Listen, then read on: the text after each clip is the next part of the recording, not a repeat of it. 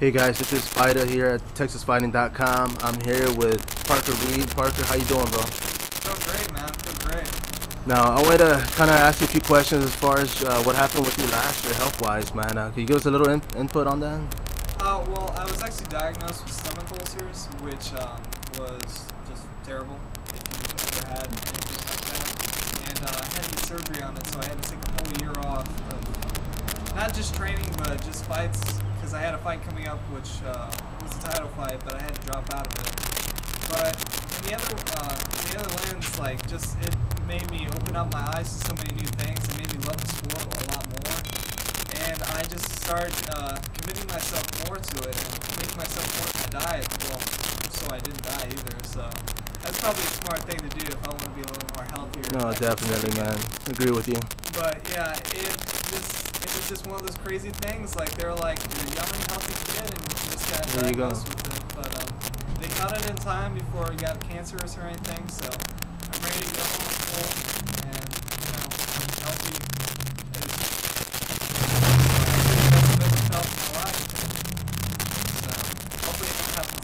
No, no, for sure, man. I mean, that's a terrible thing that happened. I mean, like you said, you are young. You know, you were training a lot. You were ready. Uh, you had a bout coming up, which, you know, definitely coming uh, 100% every, every fight. Now, uh, with that said, man, I mean, you said it made you look back and actually making everything more, just being on the sidelines you are a the sport, obviously. You know, what is it uh, that you look forward to? I mean, there's a fight coming up. I mean, are there any fighters in specific that, you know, you, you look forward to uh, watching? Um, looking forward to. I look forward to anybody who brings a good fight. I don't even care if it's the most technical fight and everybody's booing. I'll probably be like, "That was a great fight." I really don't care. Uh, I just love the sport of MMA, and I love any kind of sport that has physical contact in it.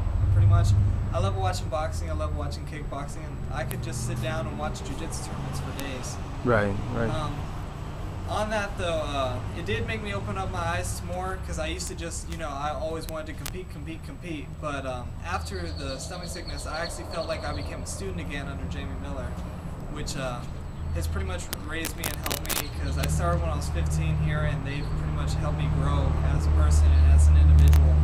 And I don't consider myself as an MMA fighter anymore. I do consider myself as a martial artist now, which has really opened my eyes up to the whole world and how I see things. No, definitely, man. That's a good way of saying it, dude. I mean, you know, that's awesome. I mean, that you can actually sit back and actually you enjoy the sport. I mean, that's a, there's a love for it. Uh, I wanted to ask you about your nickname, dude. The Amazing Spider-Man. Tell us a little bit about that, man. All right. Well, um, many of you may know Aaron Suarez, who was uh, a poker in uh, Tampa.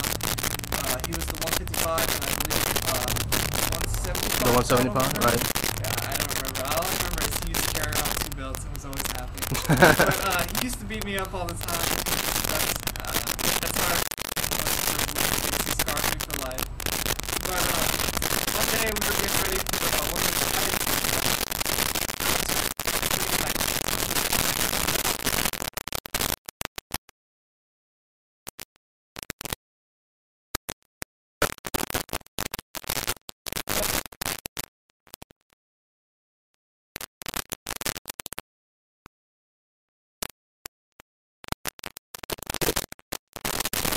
Man, well,